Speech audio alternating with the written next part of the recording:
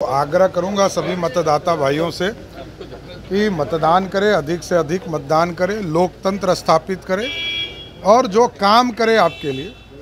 देश के यशस्वी प्रधानमंत्री जी ने जो लगातार आपके कमिटमेंट्स और गारंटी के साथ काम पूरे किए हैं, उसके लिए ज़रूर आग्रह करूँगा कि एक एक मतदान करके देश को श्रेष्ठ बनाने का प्रयास। लालू प्रसाद ने अभी कहा है कि मुसलमानों को रिजर्वेशन तो मिलना ही चाहिए ना। अगर प्रधानमंत्री रिजर्वेशन के हिमायती हैं तो मुसलमानों को ही मिलना चाहिए। देखिए स्पष्ट तौर पर है प्रधानमंत्री जी ने ये कहा है कि ओबीसी और अति पिछड़े के आरक्षण को काट के नहीं देना चाहिए। मंडल कमीशन में पिछड़ों को अति पिछड़ों को आरक्षण देने की बात कही गई।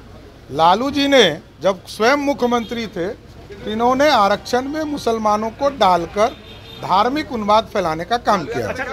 लोकतंत्र लोकतंत्र संविधान खतरे में बता रहे हैं। नहीं ये तो आतंक वो स्वयं जानते हैं। पंद्रह साल मुख्यमंत्री रहे बिहार के लोग सबसे ज़्यादा त्रस्त रहे। बिहार का डेवलपमेंट खत्म हो गया बिहार में रूल ऑफ़ लॉ खत्म हो गया।